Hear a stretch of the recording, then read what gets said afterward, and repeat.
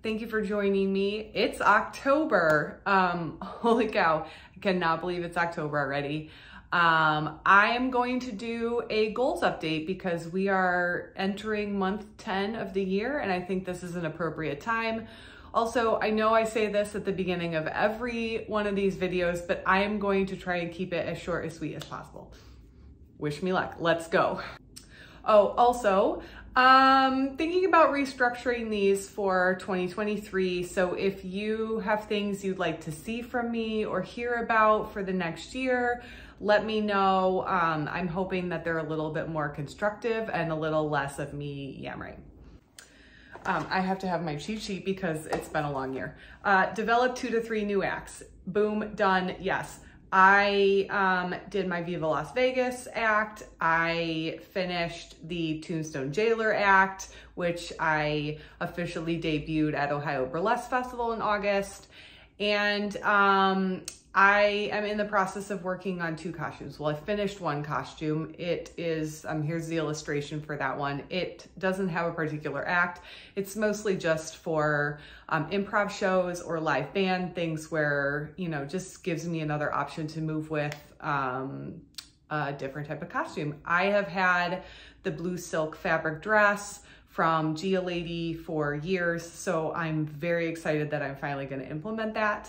Um, and then the last one is actually the one that's sitting right there. It will be costume number four. It is a um, femme fatale spider web uh, inspired by this illustration by one of my favorite illustrators and I will link their uh, Instagram account in the notes.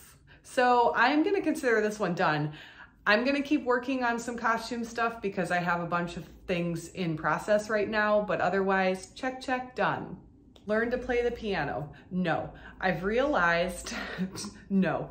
Um, I have realized that uh, setting six goals for myself was very ambitious coming into the first year where we are really kind of hitting the ground running post pandemic. Um, we haven't had, knock on wood, any particular shutdowns or anything. And I um, under anticipated the amount of gigs I was going to have um, and the amount of work that I was going to be absorbing, really getting the Chicago School of Burlesque up and running. I still want to learn to play the piano, so I have not forgotten about it. It's just, it's not going to get done this year. And I am, I'm okay acknowledging that learn to be better at video editing. Um, still have not done this one. Still really want to do this one.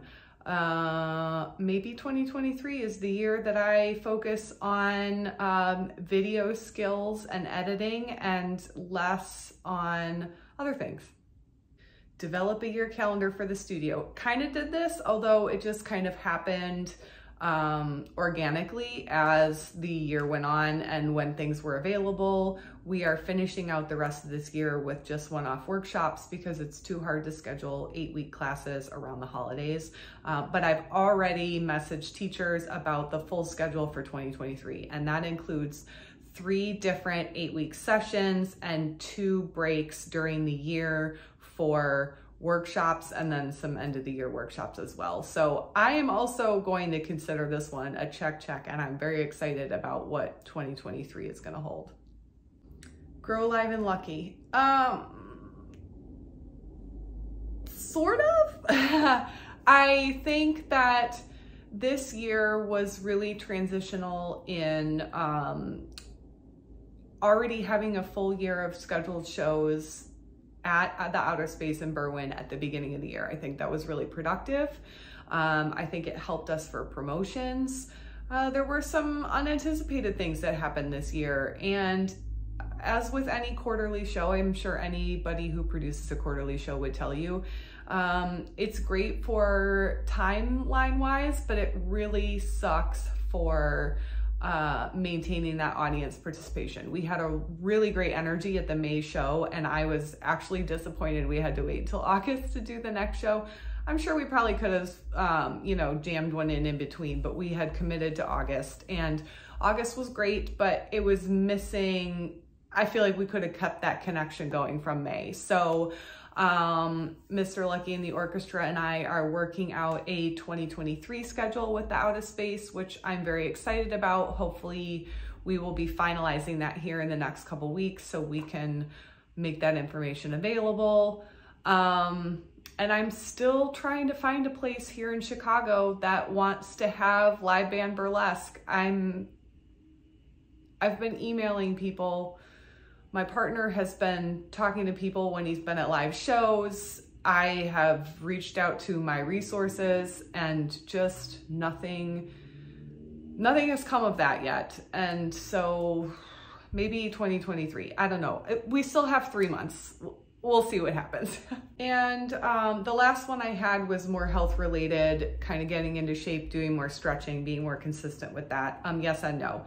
I acknowledge that um, I really missed the routine that I had pre-pandemic where I had a stretch class with Dahlia Fatale every week. And that was in addition to the other workouts that I was doing, both running outside and, um, you know, in my gym when the weather didn't cooperate and um, I missed that.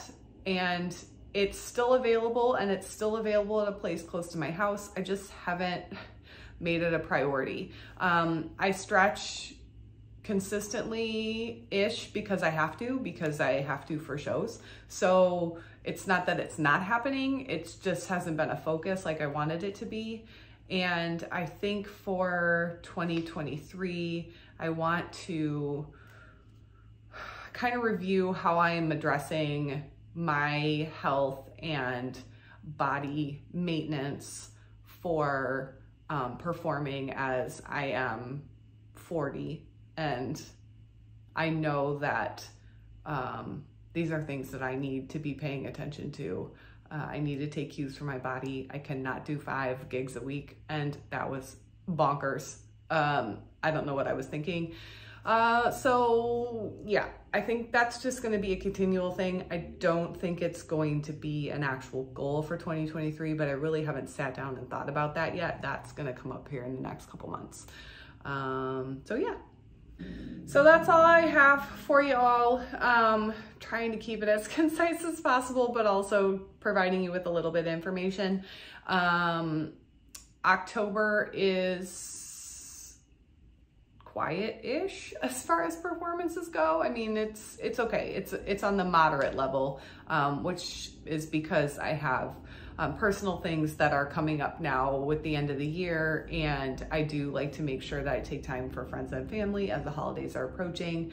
So um, hopefully I get to see those of you that are around the area at some shows. Um, again, as I said before, if there's anything you want to hear, I'm all ears. Otherwise, I'm just kind of, you know, yammering on about things I think I should update you all on. Um, so with that, have a spooky October. Uh, let me know in the comments what you're going to be for Halloween this year. Bye.